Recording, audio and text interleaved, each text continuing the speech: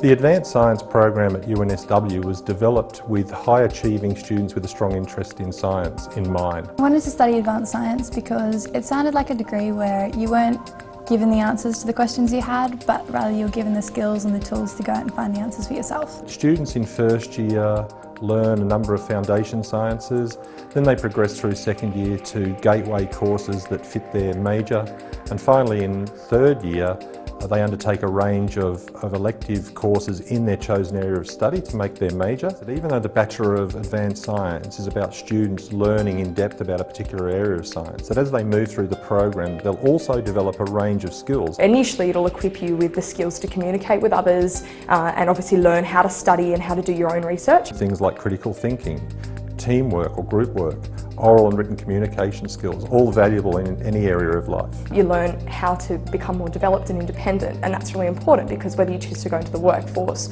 or to stay in research you really have to be um, personally motivated to, to want to know the answers and I think that's what the Bachelor of Advanced Science really gives you. As the students move through the program it's really important to remember that there are a range of courses that are distinct to that program. Along the way you're going to find there are lots of things that you become interested in and it's never too late to change programs or majors. Then after those three years of the degree they of course go into honours and typically their honours program is going to be in their major area of study. The Bachelor of Advanced Science has a compulsory fourth year honours which I'm just about to undertake.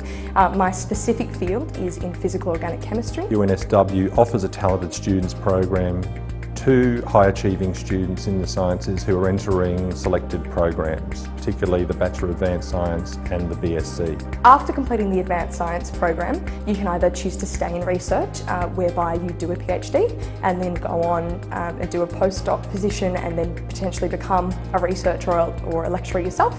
Uh, I do know you can also go into industry, um, so CSIRO, uh, I know Quidel ANSTO, um, Cochlear, they are even looking for scientists, so you can go in terms of and be a commercial researcher.